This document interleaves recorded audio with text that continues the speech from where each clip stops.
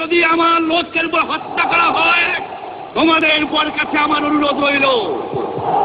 প্রত্যেক ঘরে ঘরে দুর্গ করে তোলো। রাস্তাঘাট যা যা আছে, সব কিছু আমি যদি হুকুম দেবার নাও পারি, তোমরা বন্ধ করে দেবে। এবারে সংগ্রাম আমাদের মুক্তির সংগ্রাম।